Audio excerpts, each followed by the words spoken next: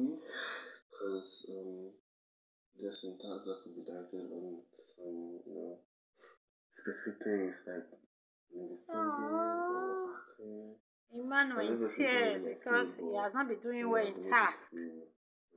Oh, sorry, dear. Adapt certain things. I mean, I'm a stage actor, but I try when it comes to tasks like this, and I might not be the best or one with the most amazing voice, or and I actually do put my my my effort when it comes to happening live at the Shine Ya Eye Mansion.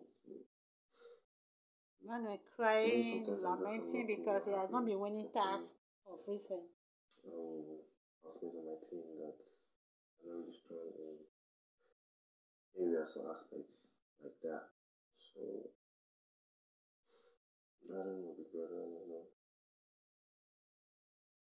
Don't forget to have a date with me on Saturday while I'll be dancing in the life. And do you play an active role when ideas are thrown around? From my living room to the big road, uh, Shanya mansion with the housemates. It's gonna be that bomb, it's gonna be the fun.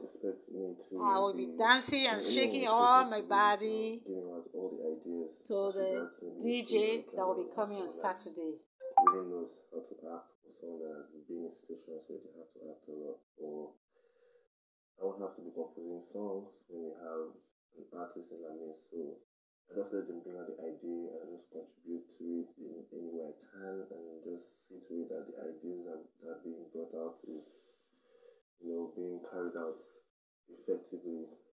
That's what I try to do. Emmanuel, wish you all the best. Be supportive like that. In your future task. I hope you win. Mm. Raise up, bro. Mm. We've got you covered.